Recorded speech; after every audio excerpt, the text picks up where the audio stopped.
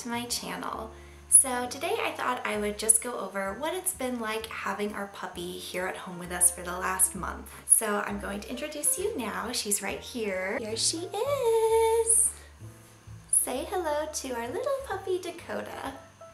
Hmm. She's getting really big already. She's already almost 20 pounds and she's only three months old. But this is her and I love her so much.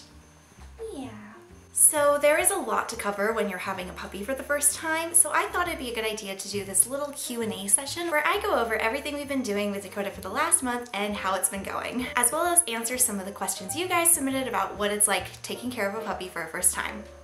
So question number one was how often do you need to take her out? This is going to really vary depending on the type of dog you have. So the smaller the dog, the less amount of time they can hold their pee. And then also the younger the dog, the less long they can hold it. For her, she can hold it pretty long. We take her out every one to two hours just to be on the safe side. But for us, that's really easy because we just need to open the door to the backyard and she goes running out there to do her business and then comes running back to us and we call her name.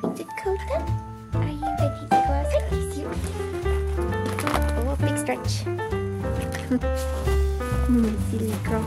Probably need to do a number two, huh? She owns this place. But when it comes to walks, we only take her on a walk for maybe one or two times a day. And those walks never last more than 30 minutes maximum. So right now when we're doing working, uh, we'll just usually take her on one 30 minute walk a day. And this is just to go around the neighborhood and meet other dogs, meet other people, and socialize her. Oh, baby. Hi. Who's a cute little one?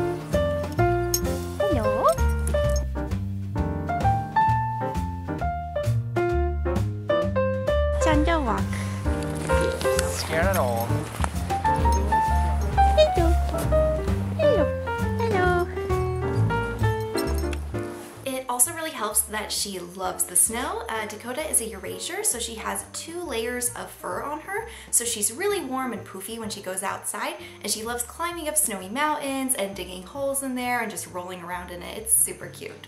All right, next question was what kind of tricks does she know? So we've actually taught her a lot of tricks so far and she's very smart and picks them up super quickly. So some of the ones that she knows is she knows sit, she knows stay, she knows come. So when we call her, she'll always come running towards us. Uh, she also knows some cute tricks like she knows high five, she knows wave, she knows shake, um, and she also knows lie down and be calm. She knows drop it. So there's a lot of things that we've taught her. It's kind of hard to keep track of them all, but she's very smart and very cute when she's doing her tricks. Uh, the next question is, how is it with sleeping? There are a couple things you need to know when you first get a puppy, and one of those is that they sleep a lot.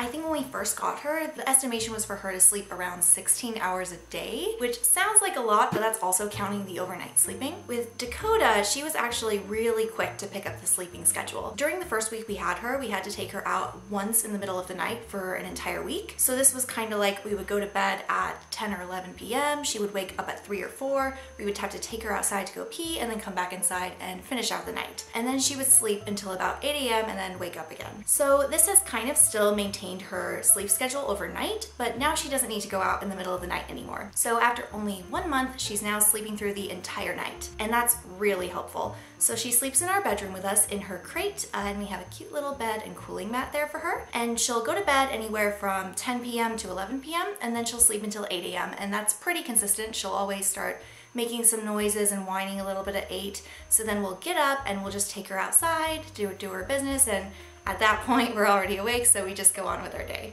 All right, uh, the next question, which is something that's been kind of a problem area for us is the alone time training. So it's very important, especially if you work full time like we do, to train your dog to be alone when they're very little so they don't freak out when you leave them all day to go to work. And that's pretty difficult when you have a little puppy. So the way we've been doing it is we do like semi alone time training and right now she is able to be alone for a maximum of two hours by herself. And the way we do that is in the morning on the weekends, we'll bring her into the living room and we'll close the door so she can't follow us and then we'll be in the bedroom for one or two hours while she's alone in the living room. And what we'll usually do is we'll give her lots of treats that take a long time to eat. So this includes things like the lick mats, or we'll put frozen food inside these Kongs. So she spends a lot of energy trying to eat all of those, and then we'll put some toys out for her. We have this puzzle toy where we can hide little treats and she really likes that. And it's just things to basically keep her occupied for those one to two hours. And we'll also play uh, dog TV on the TV. So it's basically just going through nature sounds and flashes of different types of nature animals. And she really likes that and that helps to calm her down too. And then I'll usually have a timer on my phone for one and a half to two hours and we'll just be in the other room so we can always hear her if anything is going wrong. We also want to make sure that whenever we come back to her, she is distracted because you really want to avoid the dogs making an association with the whining and the person coming back. So if they're whining, you shouldn't enter the room because then they'll think, oh, I was whining, that made the person come back. And then they'll do that all the time. So you have to wait to distract them to come in. And we usually do this by either like, we have an app to turn off the lights in here uh, when we're not in here. So we can do that to distract her, or we can raise the volume of the TV with our phone before entering the room. Uh, and that also can distract her a little bit. So that's what we've been doing. And we've slowly built up the alone time. And now she can be alone for about two hours we tried three hours one time, but that just wasn't really good for her. So we're back down to the two hours and gonna just continue to slowly build that up over the next couple of months. And the way we're able to do this, uh, balancing it all with our life and our work schedule, is that I've been using this app uh, to get babysitters to come watch her during the day. And luckily we also have family that live nearby and they love to babysit her as well. Usually our life schedule will look somewhat like this to balance the working and being with the puppy. Oh yeah, and that brings me to the next question, which is how do you balance working full-time with having a puppy? So the way we do it is a mixture of working from home, alternating between the two of us, uh, using family members to babysit her, and also using babysitters from this app Rover to babysit her too. Currently, we've tried this, I think two weeks now, where I'll work from home two days a week. Uh, my boyfriend will work from home one day a week, and then we'll use a babysitter for one day, and then we'll use a family member for one day. And that's kind of been our cycle. We did try one day where it was a half day, where we just left her completely alone for those three hours, but that wasn't really good for her. She was a little sad when we came home, so we've been trying to mostly use the babysitters from now on. But this Rover app is really good. Uh, they do people coming to your house for house sitting. They also do dog walking services, and they also do overnight babysitting services where you take the dog to someone else's house and they watch them overnight. And all of the prices are for the entire day. It's a pretty good deal if you want to watch the dog for eight, 10 hours because it's the same price for that than it is for just washing them for a couple of hours. So for people who use it for the whole workday, that helps us a lot.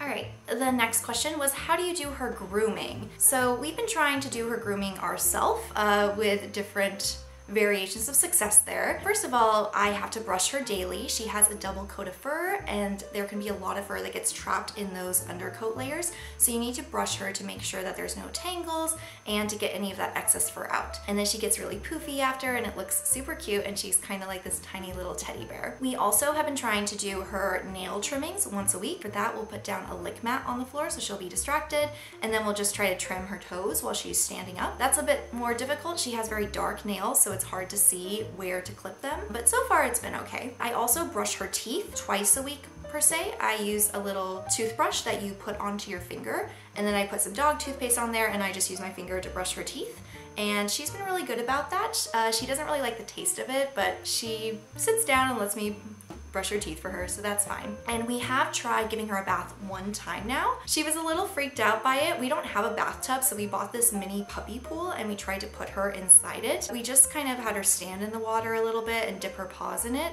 And it's really funny because even though she loves snow, she was freaking out from the water. But I think slowly but surely we'll get her used to it and eventually be able to give her a full-on bath. And we have showered her one time with just the shower head. She was shaking, but she wasn't whimpering or screaming or anything, so I think we'll get her used to that too.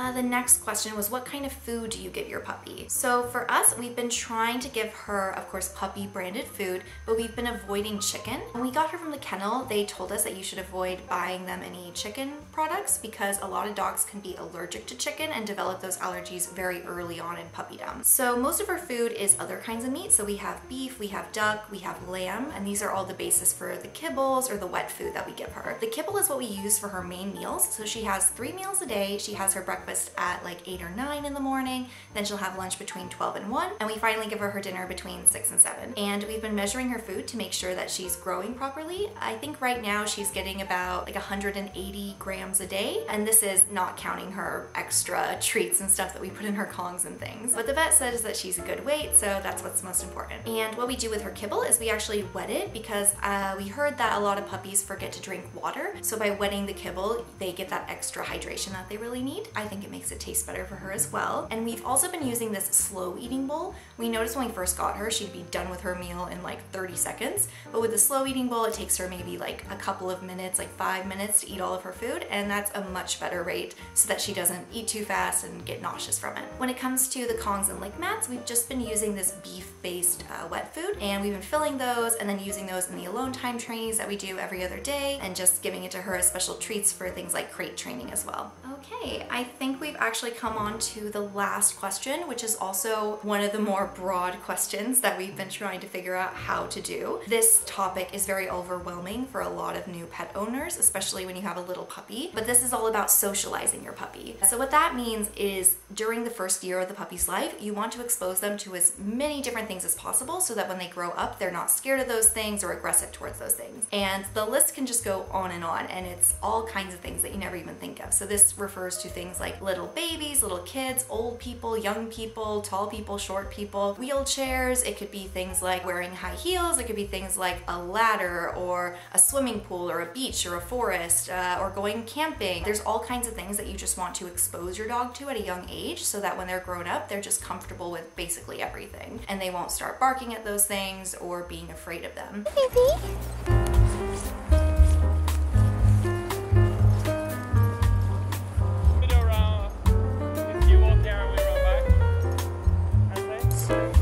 Baby's first forest. Oh, it's not first forest. yes it is. So Dakota baby,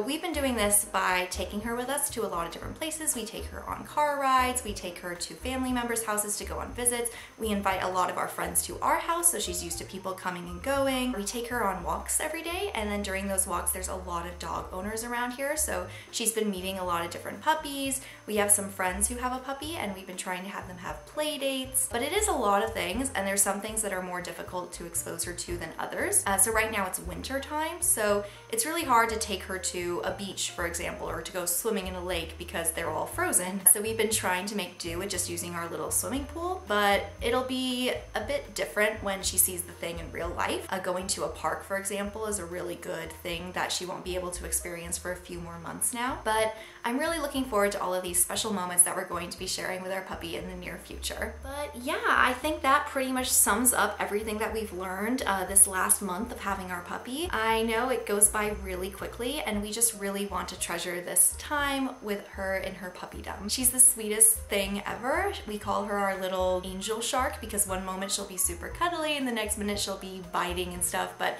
that's pretty normal for a puppy. It's uh, their teething periods. Just make sure if you get a puppy to also give them a lot of chew toys. That really saved us as well. But yeah, I'm so glad I was able to tell you guys all a little bit more about our life with baby Dakota. She's going to be around in a lot more videos in the future, of course, now that she's our new little member of the And I can't wait to show you all her growing up and us taking her on camping trips and road trips around Norway in the future. But anyways, thank you all so much for watching. Be sure to give this a big thumbs up and subscribe down below if you enjoyed this video and to ping the bell if you want to see more Dakota content in the future. But yeah, I can't wait to see you all next time. Bye guys!